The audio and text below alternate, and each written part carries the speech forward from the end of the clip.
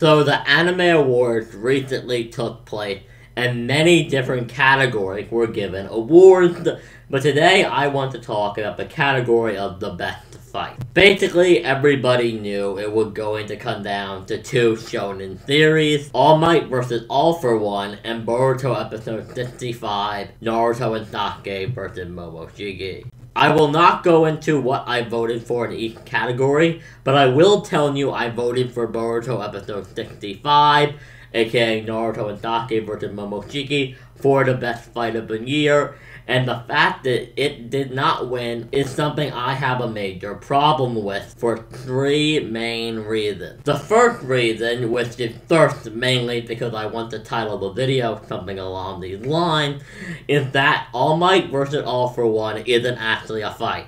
I said this on Twitter and I will say it again. All Might vs. All for One is an emotional moment involving about seven punches. There is little to no actual choreography in that fight. In fact, All Might is in the same spot for most of the battle. He arrives to get blasted around a little bit and then he kind of just standing in the same spot protecting people and throwing a few punches at All For One for the entire fight. Most of it is used for backstory on Nana Shimura and All For One himself and for monologuing for both characters and for building up All For One as a character. The popularity of this quote-unquote fight actually comes from the emotional significance in the story of All Might defeating All For One with United States of Smash. It's a fun, emotional, highly tense, awesome, hype moment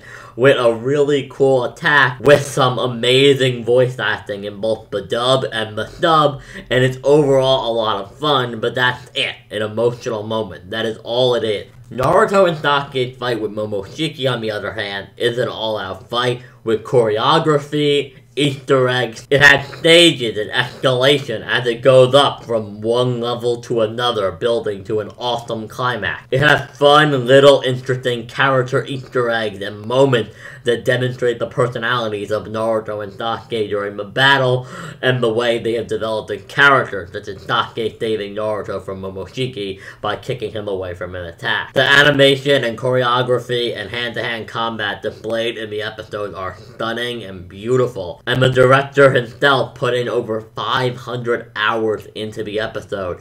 This episode required an incredible amount of work and is visually stunning, but All Might vs. All for one fight in no way had an impact like this on the anime community. People were talking about this fight like crazy on Twitter for days after it came out. People that don't even watch Naruto at all, people who stopped watching around the pain, or people who had never seen the series, tuned in to see this episode because the fight was so well animated and so well choreographed. This was an amazing, amazing fight. It was so filled and so multi-layered that I made a 7-minute video going over all the Easter eggs and references to other things and moves and attacks in the series and just going over the entire fight in an entire video. Seven minutes long, and I will be linking it on screen somewhere. But the amount of effort put into this fight is stunning, and in my opinion, it is really not fair to the staff of the episode who worked so hard on it for them to lose to something in something like the Anime Awards that isn't actually a fight. I know these are a small thing in reality that Crunchyroll does, but I think it still would have been really cool for us to be able to tweet at these producers and directors and animators and be like, this episode that you worked so hard on won an award. I think that would have been fair. I mean, the director himself put in over 500 hours, and this was the first episode he had ever directed in anything. But most of all, the biggest problem with it is that it just adds on to this obsession these awards have with My Hero Academia. Now, first of all, I want to say I love My Hero Academia. I haven't covered it as much as I would like to on this channel because I'm not caught up to date with the manga. I'm close to catching up, though. I just finished the overhaul arc. But the point is that I don't get to cover it as much, but I do love My Hero Academia, and I do think it's a great show, but there's this obsession with My Hero Academia. Every category it is nominated for, it basically wins. It wins basically every category it's nominated for. Last year, it won basically everything. They called them the My Hero Awards last year as a meme because they won basically too much stuff.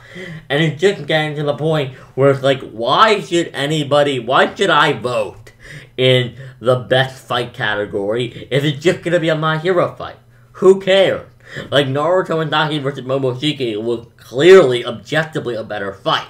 Like if you actually look, it was longer, it had actual choreography, more happened. Like there was just more content in it that wasn't talking, and it should have won, but it didn't.